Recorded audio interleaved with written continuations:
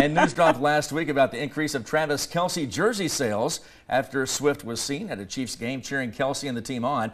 An increase of nearly 400% to be exact, and that increase is being seen right here in the capital city as well. 27 News reporter Jacob Kaufman joins us in West Topeka, where one sports store is seeing the Taylor Swift effect.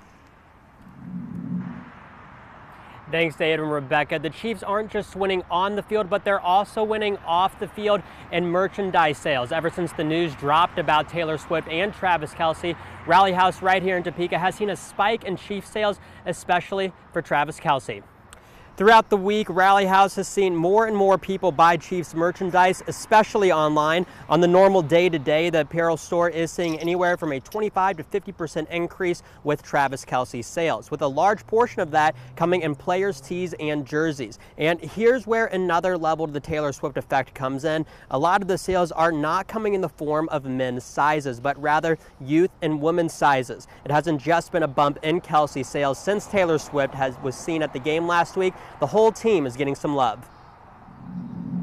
It's kind of interesting to see how this is just evolving into something we've never really thought of would happen here in Kansas.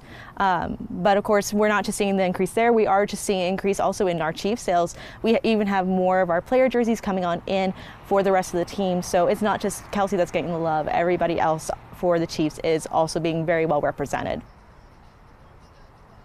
Winterberg says the ongoing joke at Rally House at the moment is when the Taylor Swift jerseys will come in, but unfortunately, she does not think that is going to happen. And if you're looking to get a Travis Kelce jersey and worried that you're not going to be able to find one, don't worry. There's plenty of them right here at Rally House. And since the headquarters is located in Kansas, it's pretty easy to know the supply and demand and when they need a restock. For now, working for you live in West Topeka, Jacob Kaufman, 27 News.